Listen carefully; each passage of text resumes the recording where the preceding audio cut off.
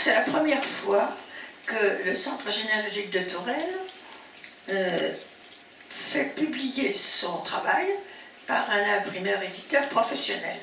Donc ici par la CIMAR. Hein. Parce qu'évidemment, il y a des jolies, vous verrez, il y a des jolies photos de fleurs, et ça aurait été dommage de les faire en noir et blanc. Hein. Vraiment. Bon, euh, c'est donc euh, une première raison, si vous voulez, et je voudrais là profiter de l'occasion pour remercier en notre nom à tous les quatre le conseil d'administration du Centre géologique de Touraine, qui a donc, et que il va être édité en trois tomes, comme l'a dit euh, Patricia tout à l'heure, et donc c'est aussi un ouvrage un peu particulier, un peu original. Je vais maintenant vous présenter les quatre, les trois orateurs. Euh, je vais en profiter pour faire en même temps la genèse de cette histoire, parce que vous pouvez vous dire qu'est-ce qui les a pris de s'occuper des jardiniers fleuristes, et puis euh, pourquoi, euh, pourquoi ces dates-là, etc. Donc je vais vous expliquer tout ça.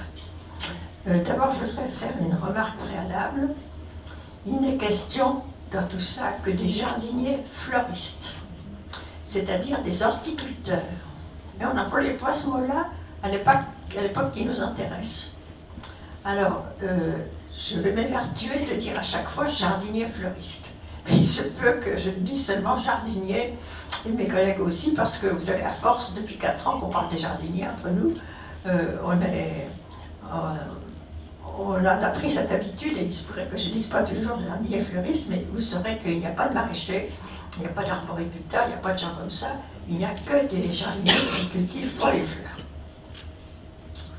Alors, euh, puisque j'ai la parole, je commence par me présenter moi-même pour ceux qui ne me connaîtraient pas. Donc, je m'appelle Idlette Ardouin, euh, je suis au Centre géologique depuis sa création, mais je ne suis pas membre fondateur parce que mon ami Jean-Simon, qui doit pas être là, non, il est parti. Il est parti. Il est parti, bon, ah, parce qu'il était membre fondateur. Et moi, je suis assistée à la première réunion. Et je peux vous dire que j'ai le numéro d'adhérent au centre, numéro 3. Et que si vous comparez avec votre propre numéro d'adhérent, je pense que vous pourrez mesurer le chemin parcouru. J'ai été d'autre part président du centre géologique de 90 à 97 et je mesure le chemin parcouru aussi, dans tout ce que j'ai entendu ce matin. Et je continue toujours à, participer un peu donc, de loin aux activités du centre, en particulier au, bulletin. Alors il se trouve que je connais très bien depuis plusieurs années mon voisin, Marc Rideau. Marc Rideau est professeur de, de biologie, professeur honoraire de biologie végétale. Été. J'ai honoraire. de biologie végétale. Et il à l'université de Tours. Et l'université lui a demandé de s'occuper des herbiers, herbiers patrimoniaux, euh, qui sont euh, sa propriété. Donc vous voyez bien que si j'insiste sur les mots euh, herbier et biologie végétale, ça vous prouve qu'il avait toute sa place parmi nous aujourd'hui. Donc un jour, Marc me dit, euh, on pourrait faire quelque chose ensemble, parce que comme nous nous connaissons bien, nous avons l'habitude de faire des recherches ensemble, de faire des petites études ensemble. Et nous en avons fait une d'ailleurs que vous devriez connaître tous, qui est la brochure sur le naturaliste Félix Dujardin. Hein? Cette brochure que nous avons faite a été publié par le Centre géologique de Touraine. Et si vous ne l'avez pas, c'est dommage, et vous pouvez encore l'acheter certainement. Voilà. Euh, cette brochure du jardin, euh, nous l'avons faite tous les deux, mais aussi avec le concours de Catherine Rouquet, qui se trouve juste à la droite de Marc Rideau. Alors, Catherine Rouquet, vous la connaissez aussi depuis longtemps. Elle a été euh, présidente à une certaine époque aussi après moi du centre généalogique. Elle en est actuellement vice-présidente et elle fait un travail de généalogie euh, remarquable parce qu'elle est très rigoureuse, très précise, elle va au fond des choses, elle ne laisse rien passer. Alors, donc, euh, nous avions fait cette, pourquoi nous avions fait cette brochure avec elle?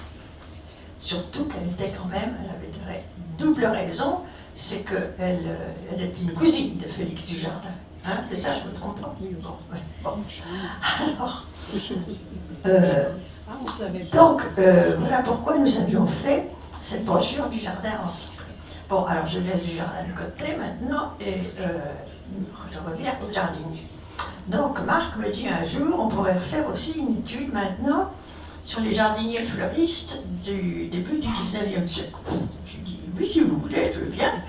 Euh, ils sont nombreux, une trentaine. Bon, euh, parce que comme ça, il a dit, moi, lui, il ferait les, réalisations horticoles, et moi, je ferais les généalogies. Trentaine de personnes, bon, j'ai dit ça. Alors j'ai dit, écoutez, moi, j'y connais rien. Donc, vous allez d'abord me faire une liste des jardiniers qu'il faudrait étudier.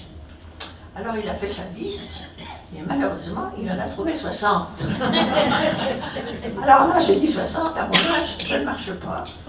Donc euh, j'ai dit, il faut demander à Catherine de travailler encore avec lui. Donc nous sommes partis comme ça à trois. Euh, je peux dire que Catherine a accepté avec un certain enthousiasme, non oui. elle est très contente, euh, je crois. Peut-être qu'elle ne savait pas ce qu'il attendait, mais enfin. Donc, à notre première réunion, tous les trois d'abord, nous avons établi, repris cette liste de 60 euh, jardiniers fleuristes pour voir si on ne pouvait pas quand même en éliminer quelques-uns parce que ça nous paraissait quand même beaucoup. Alors, finalement, quelques amateurs qui avaient été peu important, quelques professionnels qui n'étaient pas terribles non plus. Alors on a finalement, on en a gardé que 46 au total. 46 au total, mais le tome 1, qui est ici, hein, dans ce tome-là, vous n'en avez que 17, qui vont de, la lettre, comme a dit Patricia, de la lettre A à la lettre D. Car dans tous les tomes, les études que nous avons faites, nous avons classé les jardiniers par ordre alphabétique de nom de famille, et non pas par ordre chronologique.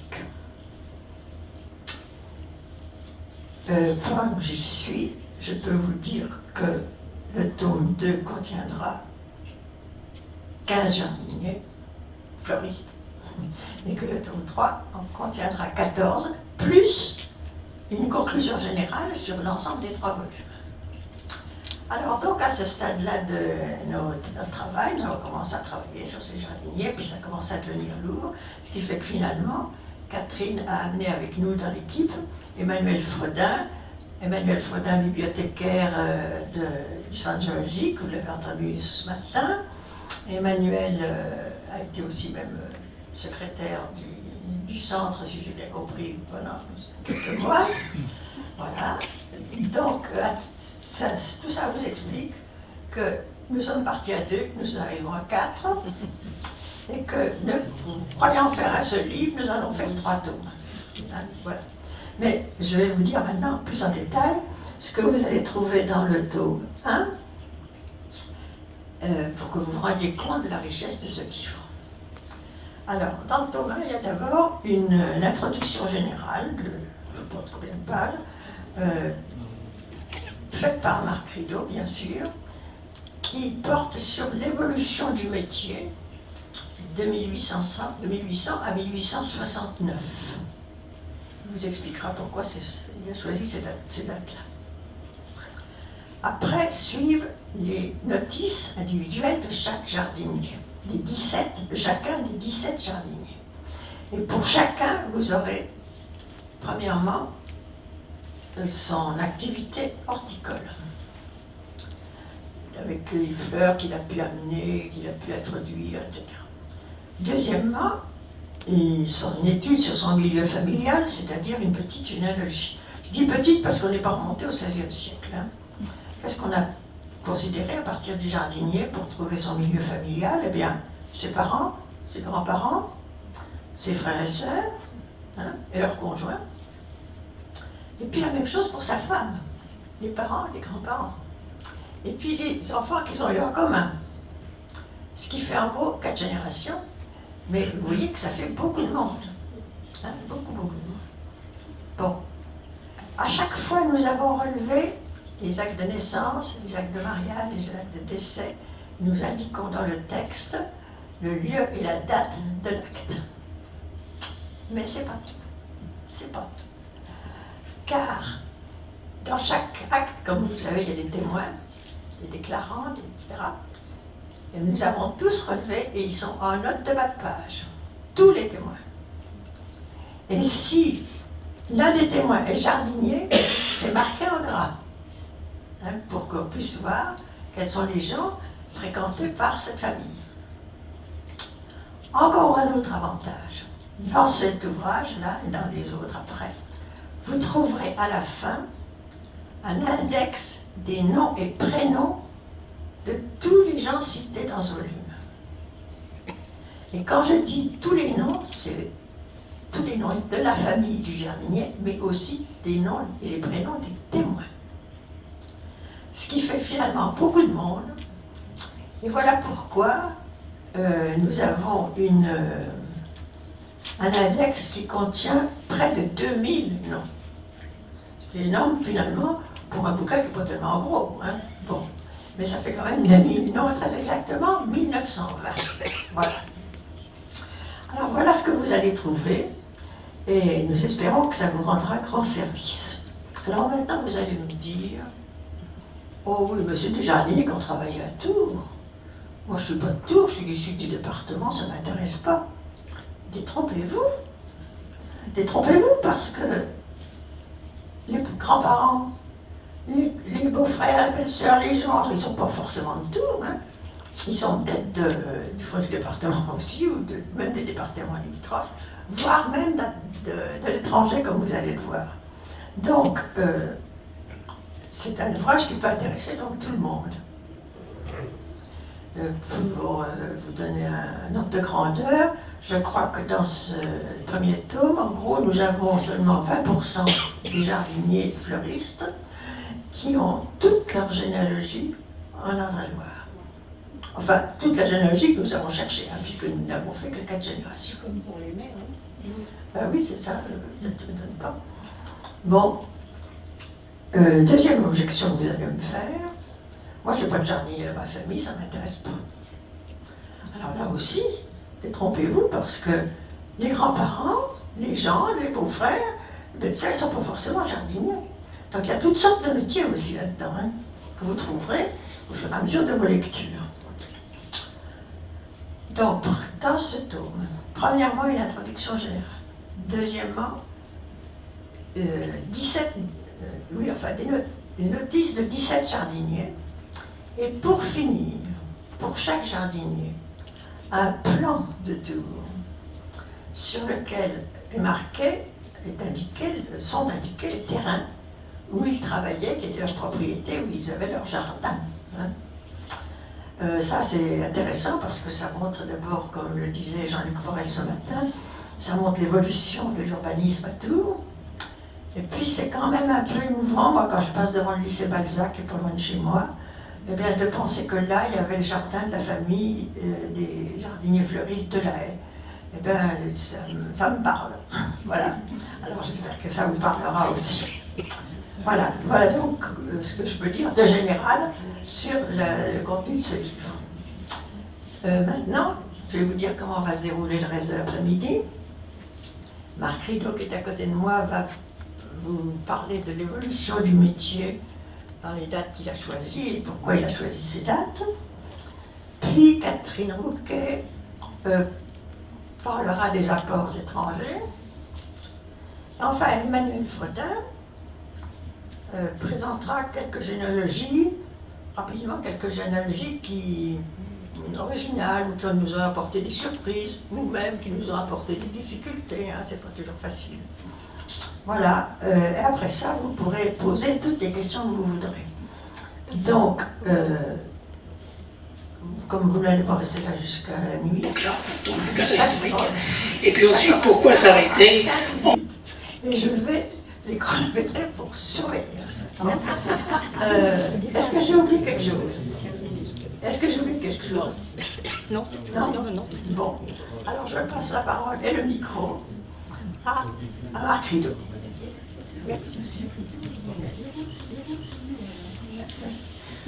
Vous déclenchez votre chronomètre.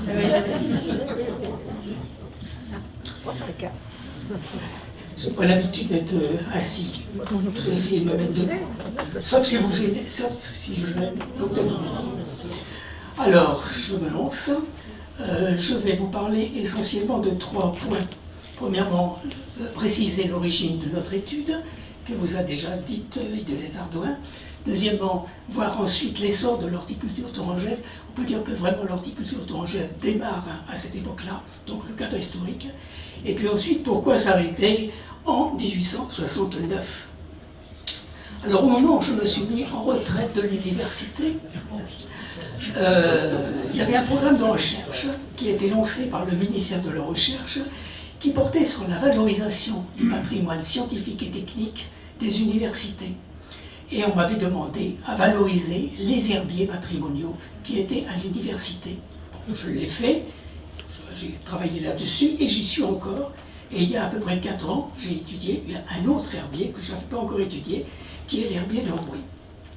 Alors cet herbier Rouet, c'est un très vieil herbier, puisque la plus ancienne planche date de 1756, donc sous Louis XV, et puis la plus récente date de 1864, donc sous l'Empire. Euh, il y a 100 volumes, qui sont très une centaine de volumes qui sont très poussiéreux. Vous en avez quelques exemples à droite. La poussière est garantie d'époque. En effet, l'herbier a été entreposé dans un grenier d'une maison annexe du jardin botanique de Tours. Alors je, me suis mis à regarder ça. C'est un herbier qui a été réalisé par la vieille famille Tourangelle, que je vous précise un petit peu. Celui qui a commencé s'appelle François-Joseph de Rouet. C'était un militaire sous la Révolution française. Il a même été fait prisonnier par les Autrichiens. Puis ensuite, il est revenu en Tourelle. Il a été agriculteur et conseiller municipal de Roche-Corbon. C'est lui qui est essentiellement le, début de, de l'herbier. Mais il a eu des planches d'herbier qui étaient plus anciennes, donc c'est pour ça que ça monte jusqu'en 1756. Il était aidé par son frère, qui était Frédéric Dorouet, qui était plus jeune, qui était polytechnicien, qui ensuite est devenu agriculteur avec lui. Et puis ensuite, l'herbier est passé à la famille, à son neveu, Frédéric Dorouet numéro 2, qui était également polytechnicien et puis euh, conseiller général. La famille est alliée à la famille Granin, qui est bien connue à Nantes, mais qui est également issue d'une famille tourangelle euh, notable. Alors, quand j'ai commencé à dépouiller l'herbier, j'ai vu tout de suite que cet herbier avait un intérêt botanique, puisque, il fallait s'y attendre, on avait des plantes qui étaient récoltées en France et à l'étranger. Par exemple, la donise du printemps que vous avez à gauche. Mais il y avait aussi des plantes qui étaient cultivées dans des jardins de Tours par des horticulteurs tourangeaux. Par exemple, celle que vous avez à droite ici, qui est euh, une plante qu'on appelle l'orme de Saint-Marie, qui est une plante nord-américaine, mais qui été cultivée dans le jardin d'un certain monsieur Brulon, je l'ai souligné en rouge le nom parce que les étiquettes ne sont pas toujours très facilement, facilement lises. Un autre exemple, c'est une plante cette sud-américaine, qui a été cultivée dans un jardin d'un autre horticulteur, qui était le jardin de Ham. Et puis un troisième exemple, la mimule cardinale, qui était cultivée chez un monsieur Porcher, en 1836, toujours à Tours. Et il y avait même également des planches d'herbier qui étaient euh, faites par des, amateurs, tels que par exemple le docteur Bretonneau, qui dans son jardin de Palmo à Saint-Cyr, cultivait la fritilière de Perse. Donc euh, c'est à ce moment-là que j'avais contacté Idolette Ardouin en lui disant on pourrait peut-être faire quelque chose sur les horticulteurs, ces horticulteurs de Touraine. Et à ce nom, à ces quelques noms qu'on avait trouvés, il y en a une trentaine, on a ajouté ensuite d'autres noms que l'on a trouvés dans différents documents. Par exemple, la statistique commerciale du département, euh, qui avait été éditée en 1810, le journal d'Indre-et-Loire, que l'on a consulté à partir de son origine, 1817, les atteintes de la Société d'agriculture, sciences, arts et belles-lettres de Touraine, que l'on a vu à partir également de son début, de 1821. Et puis également, euh, M. Porel m'avait donné des factures d'horticulteurs qui ont donné les plantes pour le jardin botanique lorsque celui-ci a été créé en 1843. Donc ça faisait à peu près une 40, 46, 50 personnes. Quoi. Et la question a été qu'est-ce que c'est que ces jardiniers fleuristes? Qu'est-ce qu'ils ont fait? À qui ils étaient apparentés? Et quelle était euh, leur implication dans le, développement de l'horticulture Dans les dates qui avaient été choisies 1800, 1869. C'est qu'en effet, l'horticulture tourangelle progresse à ce moment-là. Au début, on peut dire qu'elle est peu développée. Euh, vers 1800, on a simplement trouvé qu'un dénommé Poitrino, dont, je vous euh, parlera également, je crois, hein, peut-être, enfin. Euh, donc Poitrino, lui, c'était le jardinier du jardin, de l'archevêché. Et puis l'archevêque avait été vidé pendant la Révolution, et ce jardinier est devenu le jardinier de l'école centrale d'Indre-et-Loire, qui avait remplacé l'archevêché. Et puis ensuite, eh quand l'archevêque est revenu en Touraine, eh il a repris sa fonction de jardinier de l'archevêché. Lui, on s'en parlera tout à l'heure, de sa famille. Alors en 1829, il y en a un petit peu plus. Il y en a six, et la Société d'agriculture, qui avait fait la liste, disait qu'il y en avait les deux premiers qui étaient importants. Je vous en ai parlé déjà un petit peu de certains. Mais les politiques étaient un peu émus de la faiblesse de l'horticulture tourangelle. Et par exemple, on va prendre la dernière citation, Henri Gouin disait, vers 1830, que la ville de Tours s'était fait arracher par d'ambitieuses voisines le sceptre que la nature lui avait donné. Angers possédait une exposition de fleurs, Orléans avait accaparé le commerce des plantes précieuses, et toutes deux narguaient la Touraine en inondant ses marchés de leur industrie horticulture. Vous voyez que la rivalité entre Tours et ses voisines euh, ne date pas euh, d'aujourd'hui. Alors pour lutter contre cette routine tourangelle, la Société d'agriculture avait l'idée de faire des expositions florales. Il fallait de l'argent pour ça. Elle avait le soutien financier de la municipalité. Et ces expositions concernaient d'une part des jardiniers fleuristes professionnels, mais aussi des amateurs. Ça se déroulait en général au mois de mai, exceptionnellement en septembre. Vous verrez, les premières expositions florales se déroulaient à la préfecture, et puis ensuite les dernières sur le boulevard Hortenot. Il y avait ensuite une séance solennelle avec des prix qui étaient décernés parce que c'était un véritable concours entre les horticulteurs. Et on distribuait également des récompenses aux amateurs. Et puis il y avait une loterie finale toutes les plantes qui avaient été exposées étaient mises en loterie, et puis les heureux bénéficiaires de la, loterie repartaient avec un prix. Il y a eu 10 expositions florales qui ont été euh, organisées entre 1839 et 1864.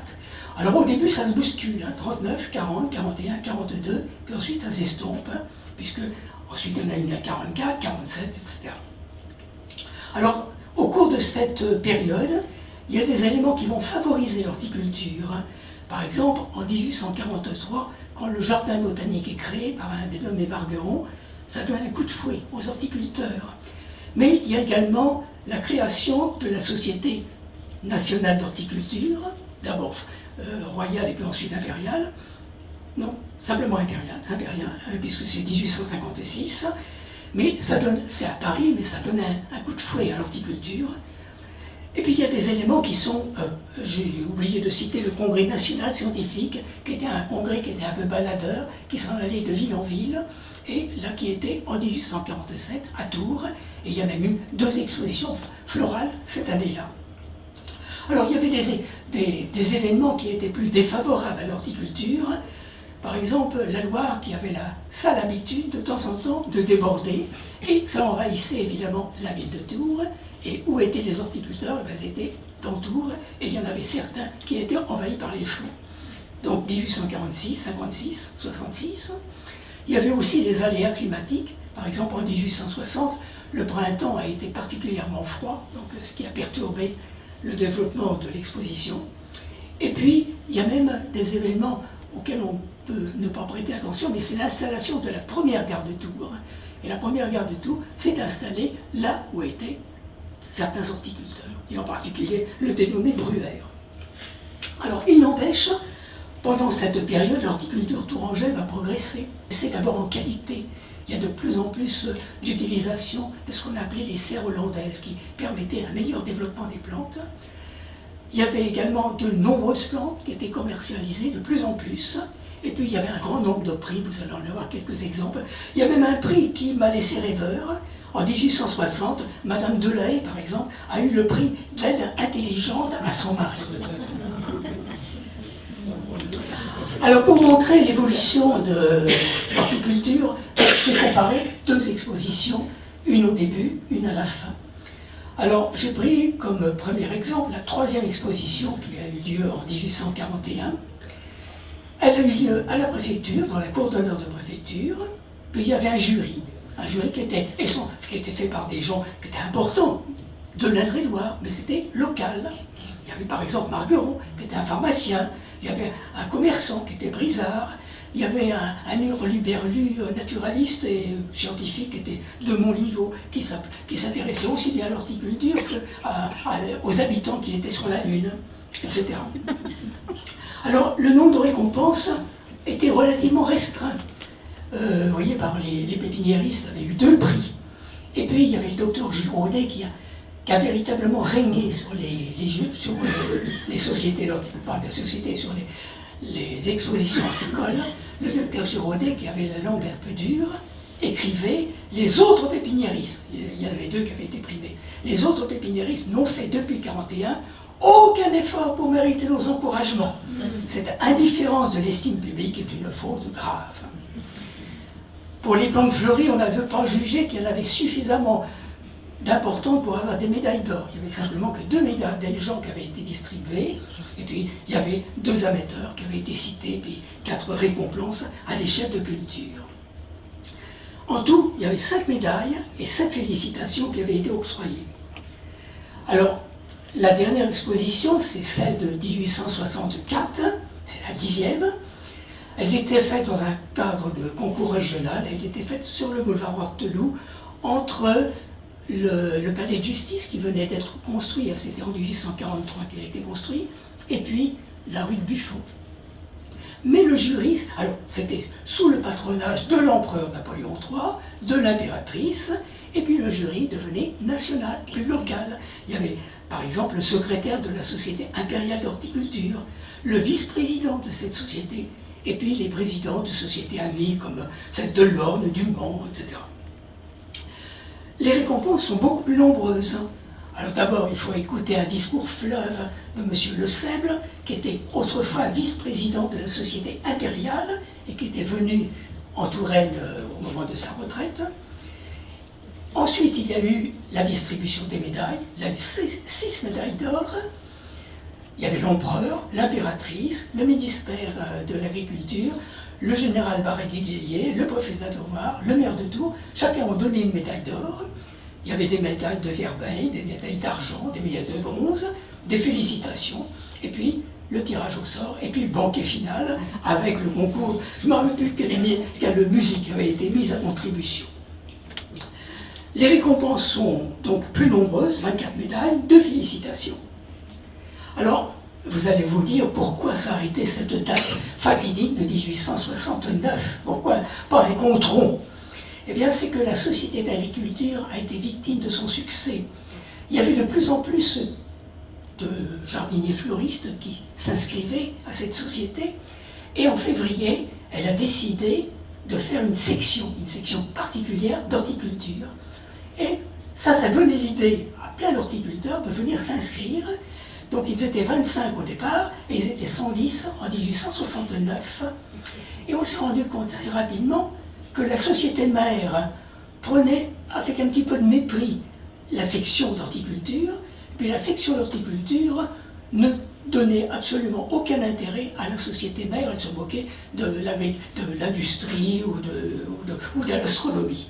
Si bien que en avril 69, ben, on a pris compte de ce qui était la réalité et la section s'est transformée en, section, en société d'horticulture tourangelle qui existe encore. Mais là, le nombre d'horticulteurs devenait supérieur à ce que l'on pouvait faire et on a décidé d'arrêter euh, notre, travail. Donc ben, maintenant, vous allez voir quelques exemples d'horticulteurs, n'est-ce pas? Merci de votre attention.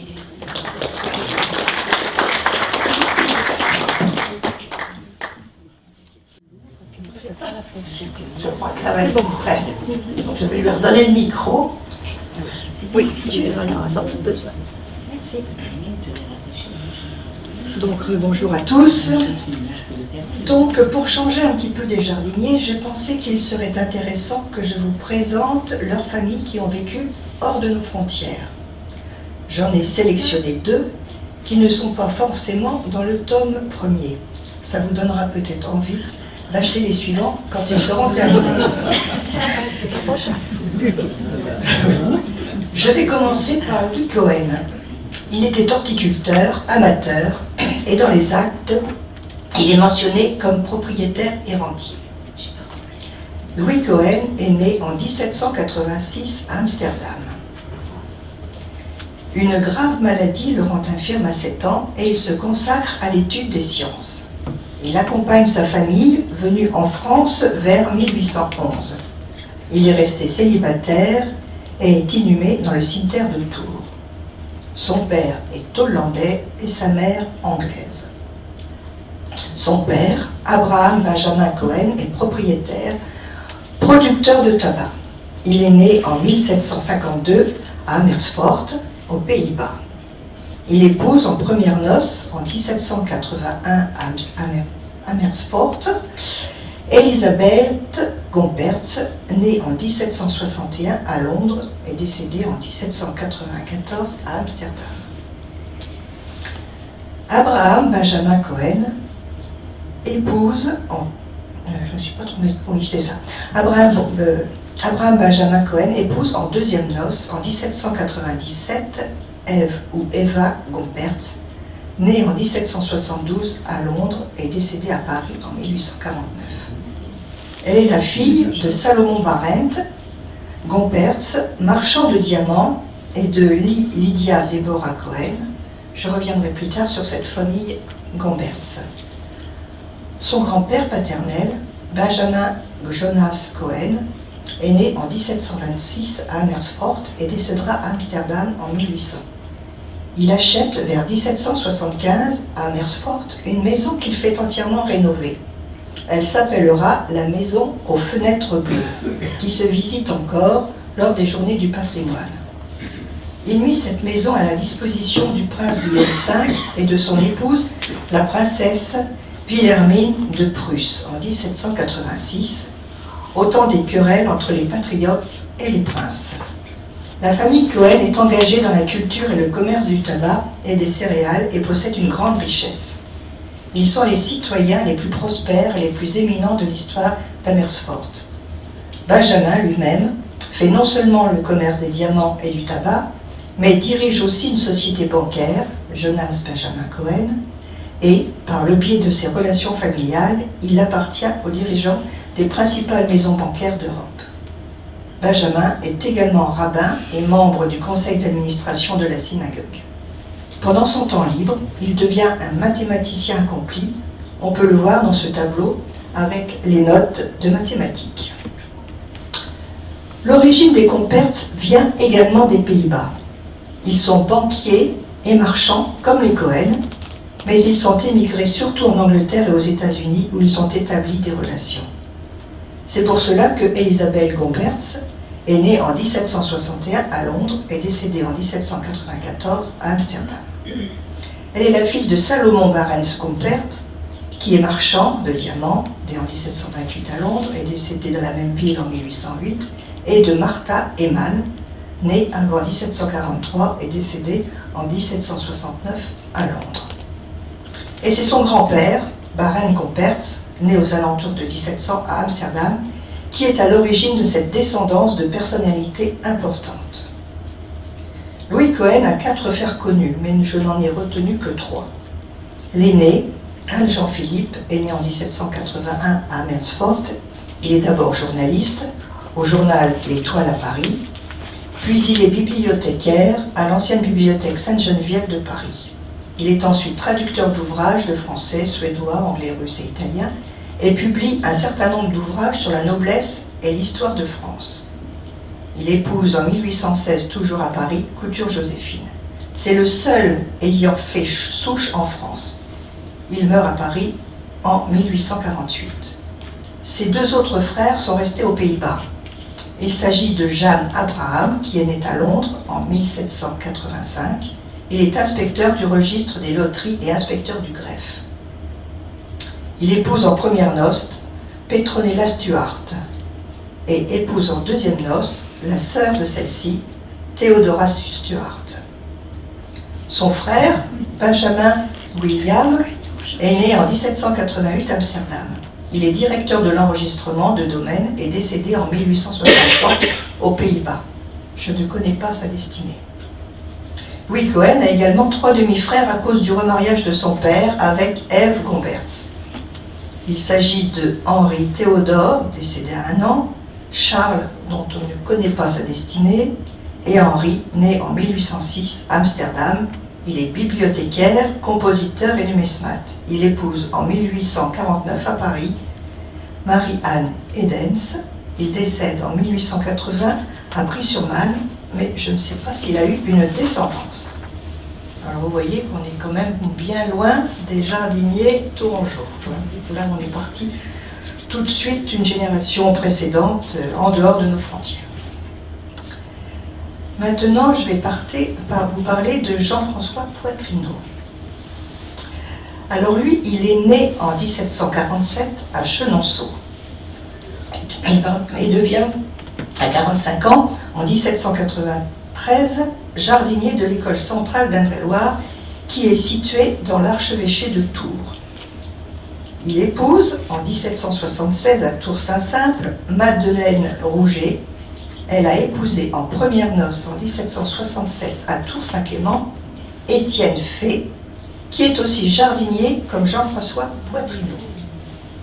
Donc cette euh, Madeleine Rouget a, épousé deux, deux jardiniers.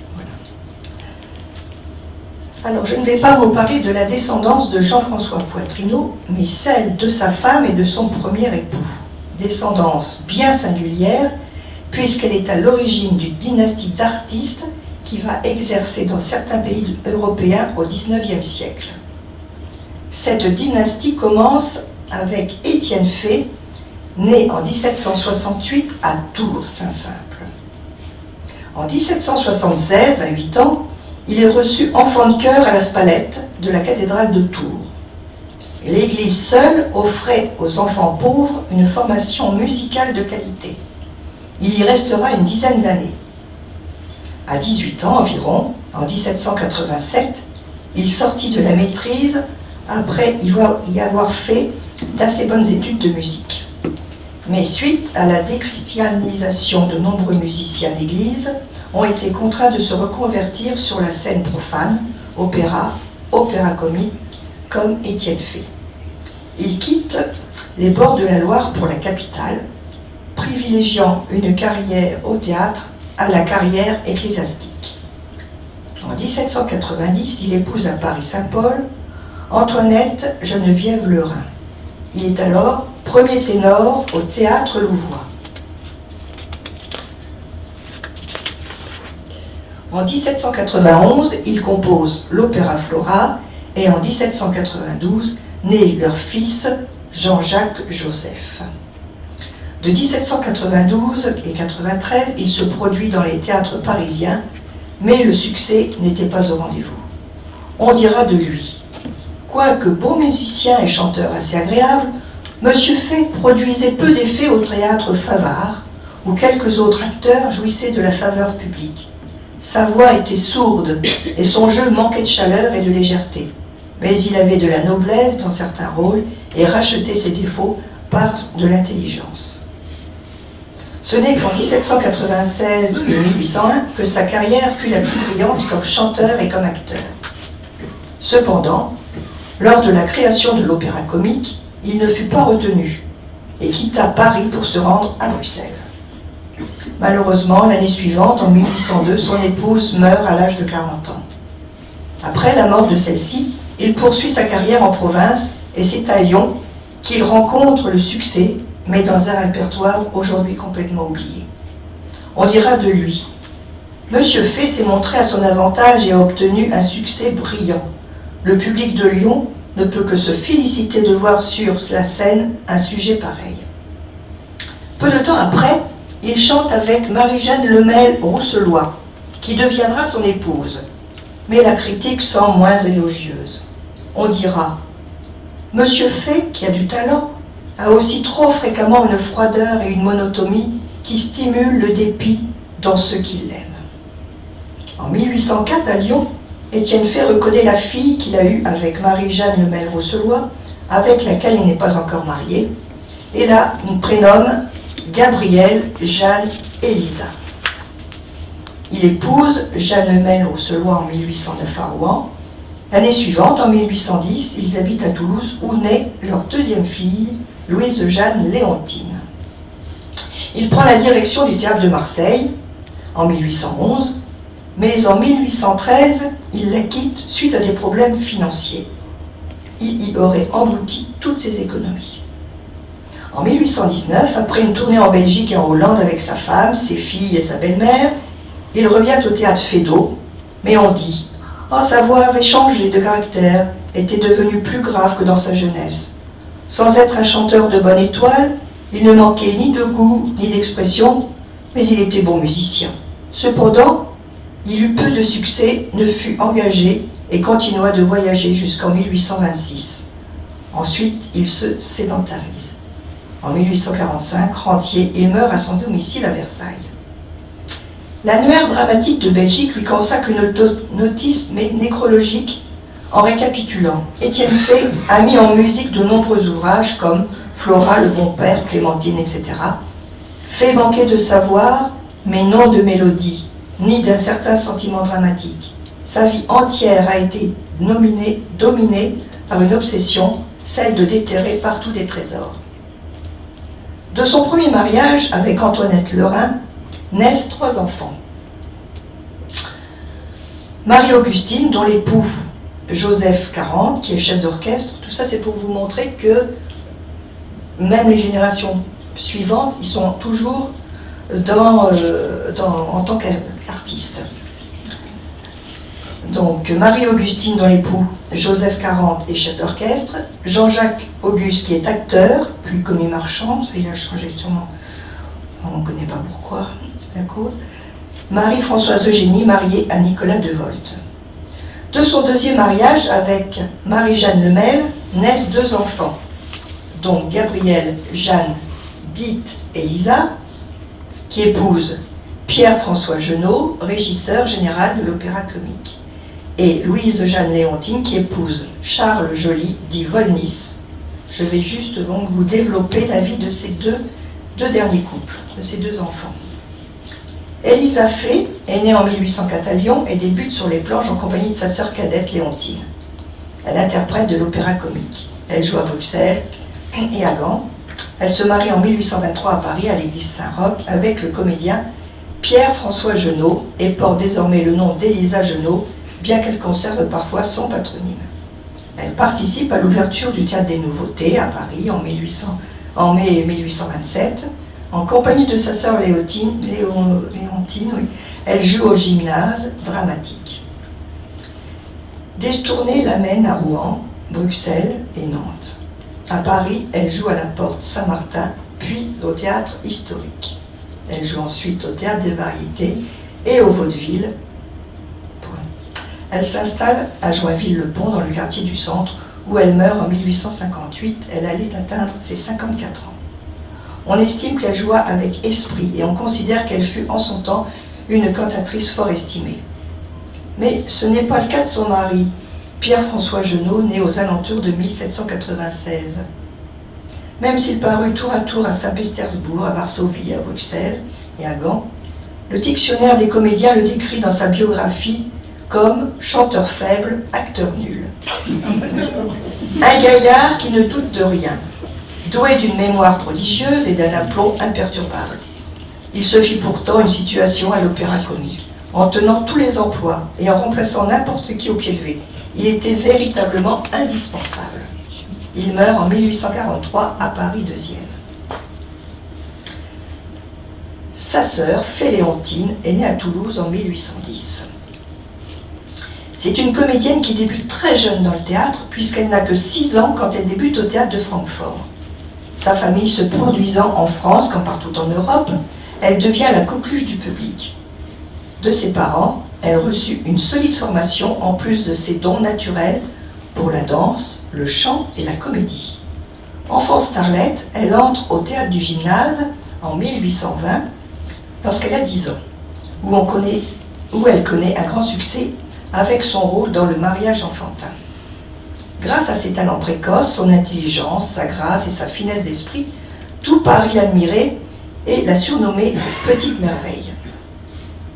Mais peu à l'aise avec la tragédie et le drame romantique, elle excelle part surtout dans la comédie et le vaudeville.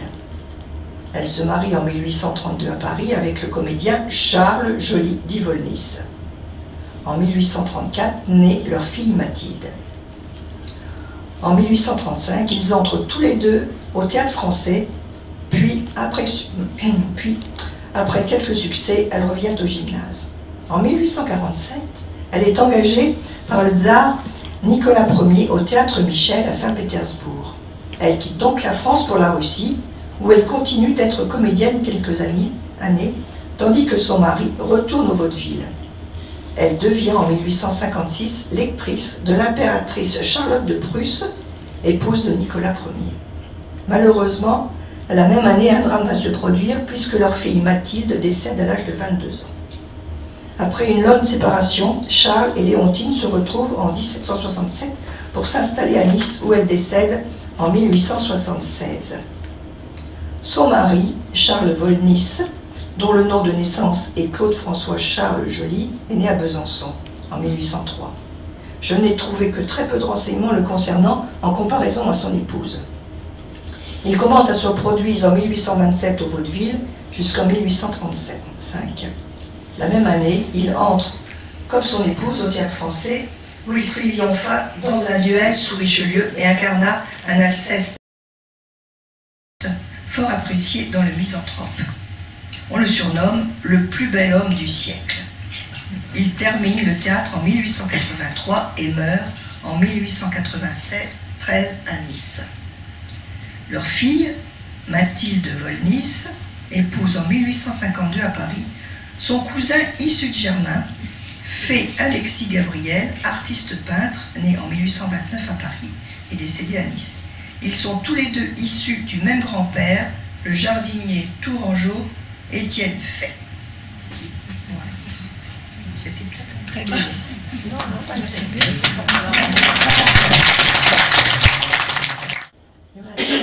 la parole à Emmanuel, si elle est prête. Oui, je suis presque prête. Presque prête. Je suis stressée, mais ça va le faire, comme on dit. euh, Ah là là. c'est pas- Ah oui, pardon, le micro. Alors je la laisse nous donner quelques surprises. Alors, c'est vrai que ce, beau- ce projet de botanique généalogie n'était pas prévu dans ma retraite et m'a vraiment enthousiasmée parce que j'aime la généalogie et j'aime la botanique, le jardin. Alors, ce qui était intéressant aussi, puisque je me suis raccrochée au wagon, si je peux m'exprimer ainsi, c'est que nous avons des façons tout à fait différentes de travailler, de réfléchir à nos recherches, à nos enquêtes, ce qui a permis de trouver, on va dire, presque l'introuvable. Hein, vous êtes d'accord? Oui, oui. Alors ça va bien. Alors, comme pour toute recherche généalogique, ce sont des recherches, des recherches d'histoire de nos histoires. Ici, dans ce livre, il y a 17 histoires dans l'absolu. Je dis bien dans l'absolu, puisqu'on pourrait partir, euh, comment vais-je dire, un peu dans tous les sens pour agrandir les histoires. Je ne suis pas conteuse, mais je peux être raconteuse. Et pour ces trois jardiniers fleuristes, dont je vais vous parler, je vais commencer par Il était une fois. Alors, vous êtes bien détendu? Ça va? Vous êtes bien installé? Eh bien, nous y allons. Il était une fois une histoire énigmatique chez Louis-Joseph Bussienne, jardinier fleuriste, horticulteur. Il est né en 1816 en Moselle et il est décédé en 1895 à Saint-Marc-la-Pile. Il se marie à 25 ans en 1841 avec Louise Anne Morel. Elle est née dans l'Essonne à Rissorangis et décédée à Tours en 1906. Jusqu'ici, tout va bien. Et nous allons nous pencher sur l'ascendance de cette dernière, c'est-à-dire Louise Anne Morel. Alors, elle est la fille de Joseph Abraham Morel, qui a exercé des métiers très différents. Il est né en 1772 à Givors, dans le département du Rhône. Il est décédé en 1843 dans l'Essonne. Elle est la fille de Jeanne-Joseph Sophie d'Assonville. Elle, est née en 1790 dans le, dans le Pas-de-Calais et elle décède dans le Maine-et-Loire. Jusque-là. Dans son acte de décès, donc à Jeanne-Joseph Sophie d'Assonville, est écrit Veuve de Joseph Abraham Morel, mariée à Choc, pas de Calais, vers 1810. Bon, c'est dit, chouette, là c'est voie royale, on va tout trouver. Eh bien non, dans les archives, aucun acte ne correspond à ce mariage. Donc nous poursuivons nos recherches et la stupeur. Nous découvrons un acte de mariage entre notre Joseph Abraham Morel et Thérèse Ostrebert Plowy. Alors là, vous imaginez notre stupeur. Il a 22 ans et ses parents sont bien les mêmes que ceux indiqués dans son acte de naissance. Il se marie donc en 1794 à Calais avec cette. Comment s'appelle déjà euh, Oui, Thérèse Ostrobert. J'aime bien retenir Ostrobert parce que, quand même. Hein. Et dans cet acte de mariage, il est tambour de la compagnie de Guedon ou de Guédon au premier bataillon des Bouches-du-Rhône en garnison dans cette ville. Trois des témoins appartiennent aussi à cette compagnie et bataillon. Il y a un caporal, un sergent-major, un tambour-maître et en quatrième un rentier de Calais c'est intéressant de noter que les témoins sont plus du côté du marié, quoi, de l'époux, que de l'épouse. Alors, une question se pose d'ailleurs par rapport à ce premier bataillon, Morel et Calais. Quel rapport entre les trois? Tout d'abord, les bataillons des volontaires nationaux pardon, sont créés en 1791 pour renforcer les forces militaires. Le premier bataillon des Bouches-du-Rhône est constitué de grenadiers de huit compagnies. En 1791, des volontaires marseillais sont donc rassemblés. Ici, il est question de la cinquième compagnie. Je dis la cinquième. Hein En 1792, le premier bataillon se dirige vers Valence et Montélimar. Est-ce que Joseph Abraham était volontaire pour s'enrôler dans ce bataillon ou y avait-il une autre raison? Néanmoins, entre Givors et Valence, il n'y a que 80 km environ, et son père est marinier. Donc vous imaginez? Non? Ah, il y en a qui opinent du chef. Toujours est-il que ce bataillon rejoint l'armée du Nord et après plusieurs batailles, il est en garnison à Calais en 1794, date du mariage de Joseph Abraham Morel. Mais le mystère reste quand même entier ce que l'on sait, que Thérèse Ostrobert Ploé est décédée en 1840 à Calais, et dit dans son acte de décès veuve de Joseph Morel, en vous rappelant que Joseph Abraham est décédé en 1843. Que Jeanne Joseph Sophie d'Assonville est aussi dit dans son acte de décès en 1865 veuve de Joseph Abraham Morel que tous les enfants que nous avons trouvés ici, dans cette deuxième union, donc avec euh, la jeune d'Assonville, sont légitimes. Ce que l'on sait en plus, le père de Jeanne, Joseph, Sophie, celle dont on ne trouve pas le mariage, est Antoine Françoise d'Assonville. Il est ex-chirurgien au deuxième régiment de dragons et décédé à Dieppe en 1809. Ça, nous en avons la certitude. Mais le mystère va rester entier. Après, moi, je, je laisse, je ne vais pas lancer un défi, mais je vous laisse réfléchir et peut-être enquêter. Que s'est-il passé dans la vie de Joseph Abraham Morel entre 1794 et 1810, date supposée d'un deuxième mariage? Que s'est-il passé pour Jeanne-Joseph Sophie d'Assonville et sa famille entre 1809, la date du décès de son père, et 1811, la date de son premier, mariage, de son premier enfant? À cette heure, nous ne savons pas. Ils seront tous dans les sols, ça c'est une certitude, partie du département appelé autrefois Seine-et-Oise. Le mystère reste entier. Et nous n'avons pas trouvé. Comme quoi, on ne va pas dire que la généalogie a... Il y a des choses qu'on peut-être qu'on ne trouvera pas. Et c'est bien dommage. Toujours est-il, un homme, deux mariages, deux veuves surtout. Voilà ma première histoire. Alors, Il a peut-être une double vie, hein, c'est pas du tout dans les mêmes c'est ce qu'on a pensé. Peut-être que c'est pas chiant, peut-être que c'est à côté. Mais bon, euh, on, a beau, on a beau tourner des pages, des pages, des pages, des pages. Est-ce qu'il y a eu une faute d'orthographe? Est-ce que. C'est mystérieux? Mais s'il y a quelqu'un qui veut mener l'enquête, hein, je vous en prie, hein, je vous donne tout ce qu'il faut. Oui. Et choc, c'est une communauté. Alors, alors, je vais comment Je vais continuer par.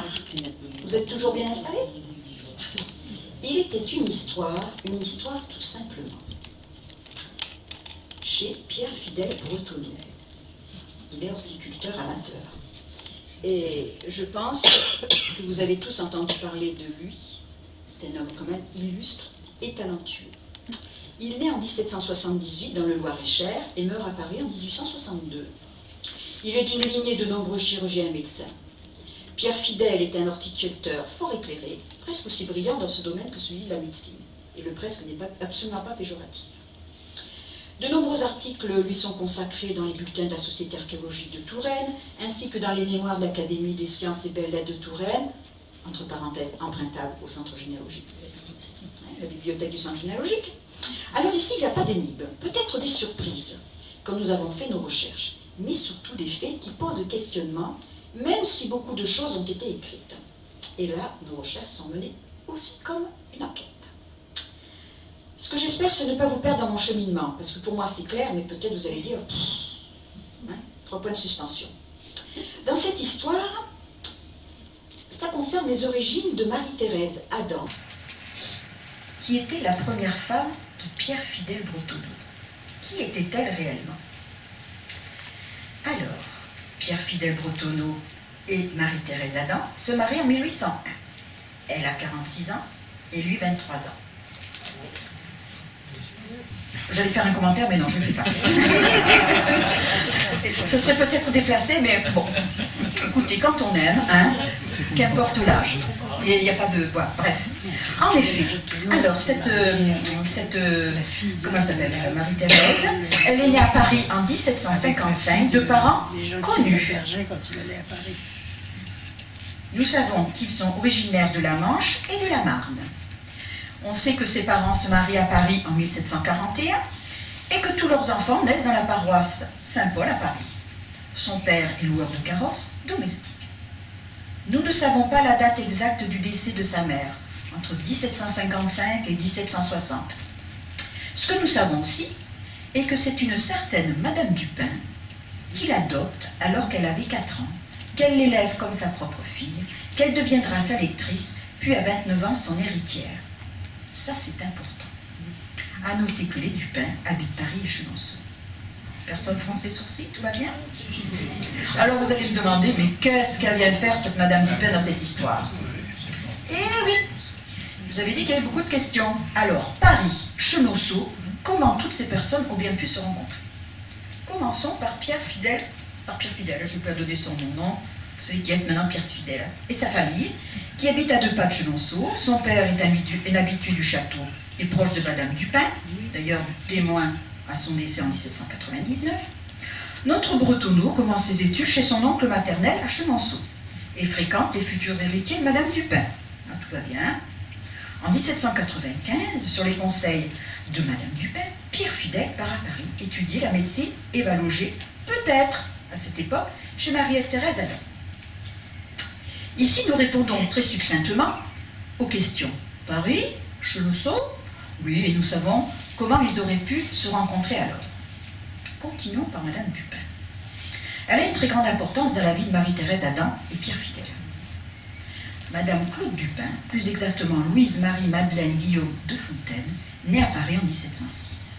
Elle est la fille illégitime du banquier Samuel Bernard. Il va proposer, là je fais un raccourci dans le temps, hein, parce que je ne vais pas vous raconter toute la petite histoire.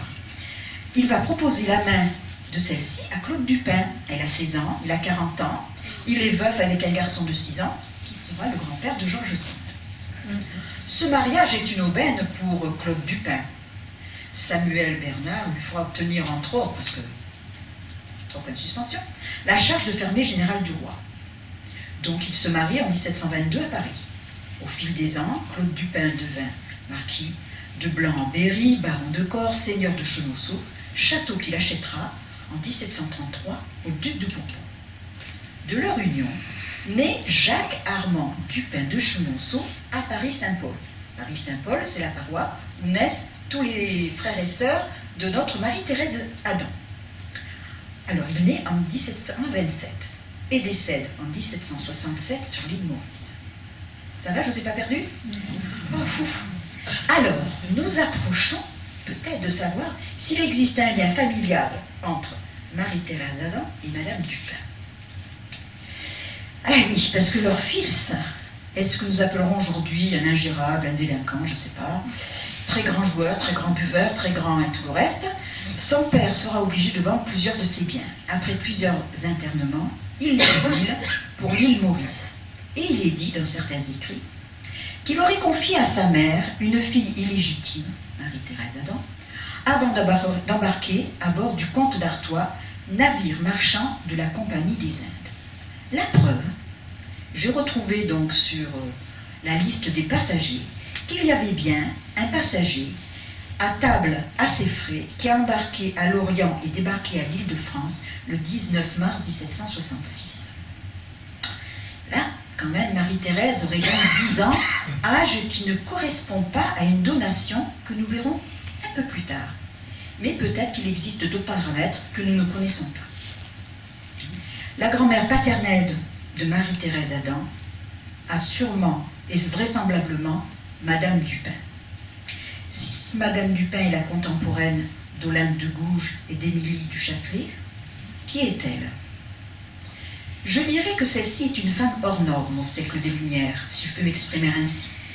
Si elle crée un salon littéraire où écrivains, philosophes et autres à Paris et par la suite à Chenonceau, je trouve quand même extraordinaire que cette femme ait pu déplacer tous ces intellectuels, hommes politiques et autres, en province, au château de Chenonceau. Il faut imaginer à l'époque.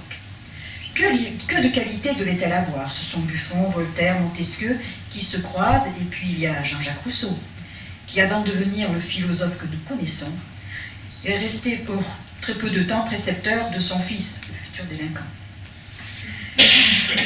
Et pendant quelques années, et surtout pendant quelques années, secrétaire de Madame Dupin, à peu près 8 ans. Et en fin de compte, ces, ces, souvenirs sont dans les confessions qu'il a écrites, qui était le roman euh, autobiographique, dans le livre 7, où, elle parle, il parle de, de comment vais-je dire, ce coup de foudre qu'il a eu jeune vers, vers Madame Dupin.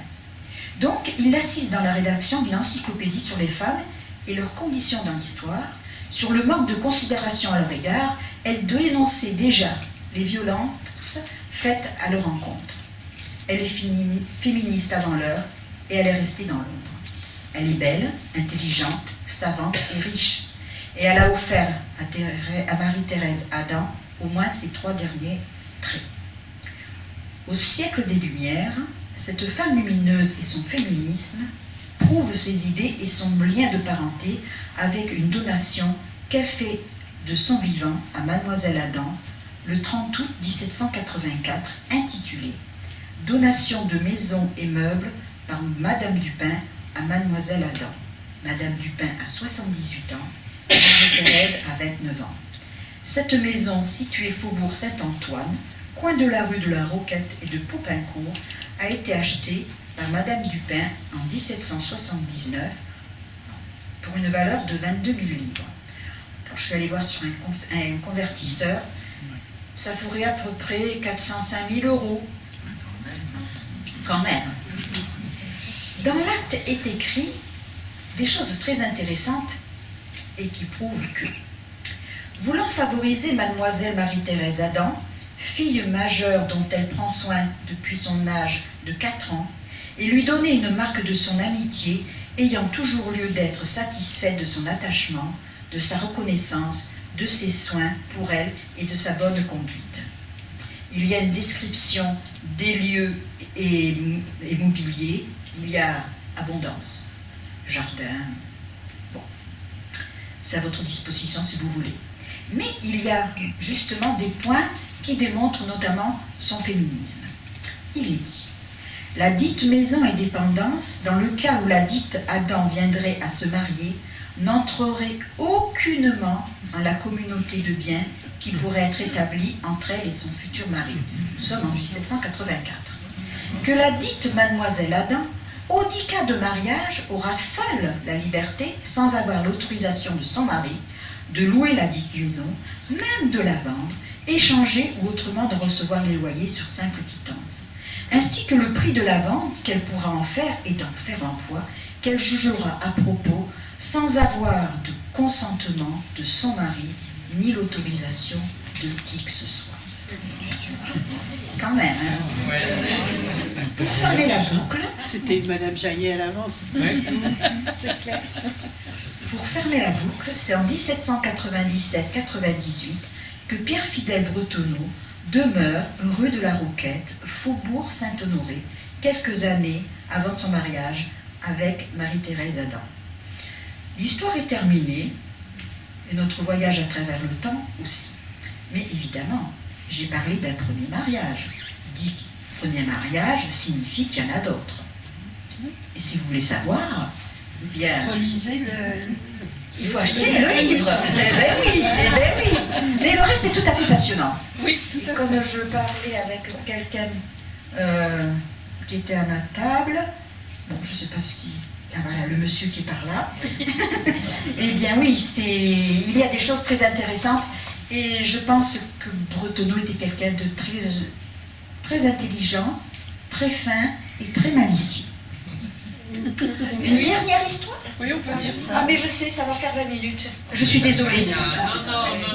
Ça va, ça va faire 25 hein, ou 30, tant pis. Ah maintenant je suis lancée. Hein. Là, je vous raconte même le livre. Bon, non mais celle-là, elle est quand même bien. Alors, il était une fois une histoire magnifique. Barthélemy, euh, pardon, je recommence. Il était une fois une histoire magnifique chez Barthélemy Marie Chapney. Il est jardinier fleuriste pépiniériste. Ça, ça a son importance. Il est né dans le Maine-et-Loire en 1808 et décède à Tours. La famille Châtenay a eu un rôle important dans la création en 1774 de la pépinière royale à Douai-la-Fontaine. C'est son grand-père, Edmé Crépin, oh là là, ça s'écroule. C'est son grand-père, Edmé Crépin Châtenay, qui a commencé la culture des roses, culture qui perdure de nos jours. Quand nous faisons des recherches, nous ratissons large, nous comparons, nous nous interrogeons, nous nous trompons aussi, et nous essayons de toujours, trouver des preuves. Nous avons abondamment croisé un certain Châtenay le Magnifique, ou Châtenay dit le Magnifique, sur de nombreux sites sur les roses, ou dans le Maine-et-Loire. Il était dit qu'il était le grand-père de cet ennemi Crépin, donc un ascendant direct de notre jardinier. Il fallait donc vérifier si cette filiation était exacte et pourquoi le Magnifique. Ce que nous savons, c'est que le berceau familial des Châtenay ou Chastenay est Vitry-sur-Seine et le métier familial comme une tradition est marchand d'arbres et pépiniériste. En remontant le temps, il s'avère que nous ne trouvons pas ce Châtenay magnifique étant comme ascendant direct de Barthélemy Marie, l'ancêtre commun, se situerait vers 1600. Il s'agirait en fin de compte de Jean Châtenay ou Chastenay, père de deux lignées descendantes, euh, pardon, de deux lignées ascendantes d'Edmé Crépin, le grand-père. Alors, qui est donc ce Châtenay le Magnifique? Il s'appelle Germain-Louis Châtenay. Il naît en 1738 à Vitry-sur-Seine et décède au même lieu en 1828, pardon, 1826 à 88 ans. Il est dit dans son acte de décès, fils de Louis Châtenay, marchand d'arbres, et de Marguerite Florentine Goyard, veuf de Marie-Madeleine Gerbier. Il s'était marié donc avec cette dernière et aurait eu une quatorzaine d'enfants. Donc ce que nous savons, c'est qu'en fin de compte, il est de la même génération d'Edmé Crépin, le grand-père de notre jardinier. En aucun cas un ascendant. Mais pourquoi le magnifique? Germain Louis avait un talent indéniable, un cerisier, porte son nom. Cerisier Belle de Châtenay, ou aussi appelé Cerisier Belle Magnifique, créé en 1795. La réponse que je peux apporter après vérification de la filiation, qui j'espère est exacte et dans Gallica, dans le journal des débats politiques et littéraires du 7 février 1845, relatant un jugement paru dans la Gazette des tribunaux. Jugement relatant l'utilisation ou non de l'adjectif magnifique par deux de ses petits-fils de pépiniéristes, car l'un d'eux a réellement pour prénom Paul Magnifique Châtenay et n'a pas du tout envie de partager cet adjectif avec son cousin Germain. Alors je vous fais grâce des détails, mais je vais vous lire quelque chose quand même d'intéressant. Germain Châtenay était pépiniériste de la cour sous le règne de Louis XVI. La petite vérole dont il fut atteint le défigura, et quelque temps après, le roi l'apercevant dans ses jardins de Trianon, et, remarquant, les ravages de la maladie, que la maladie avait fait sur sa figure, s'écria gaiement Ah, voilà mon Châtenay, il est magnifique! Le mot fut entendu, le roi l'avait dit. Il fut trouvé bon, fit fortune, et depuis ce jour, grâce à la mémoire quelque peu servile des courtisans, Germain Châtenay n'eut plus d'autre nom et ne fut plus appelé à la cour que le Magnifique. Ce surnom de le Magnifique, donné à l'aïeul par Louis XVI, est devenu aujourd'hui l'objet d'un procès engagé entre les petits-enfants dans des circonstances suivantes. Donc tout ceci pour vous dire, et nous allons conclure, que ce Châtenay le Magnifique n'est pas l'ascendant de notre jardinier, il fait juste partie de la même famille de marchands d'arbres, pépiniéristes et jardiniers. Et nous pouvons saluer, que saluer, le talent de ce dit le Magnifique, qui a, eu si, qui a su si bien exploiter et à très bon escient ce sobriquet devenu un nom de référence. J'ai fini.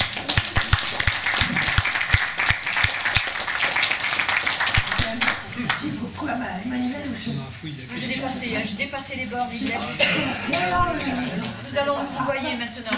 On le sent. Je me doutais un peu qu'elle aurait beaucoup d'histoires drôles à vous raconter. Alors maintenant, vous avez la parole, vous pouvez poser toutes les questions que vous voulez sur quel